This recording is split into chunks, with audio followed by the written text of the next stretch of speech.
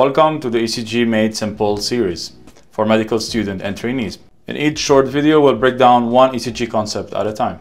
First, what is an ECG? Electrocardiogram or ECG records the heart electrical activity over time using electrodes placed on the skin. These electrodes will detect tiny voltage changes produced by the heart muscle depolarization and repolarization, which are then displayed as wave on a screen. A standard 12-lead ECG is made up of two groups of leads.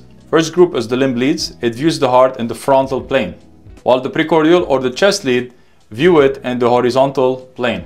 Together, they give a three-dimensional picture of the cardiac electrical activity. On the ECG, the x-axis represents time and the y-axis represents voltage. So the ECGs themselves are based on vectors.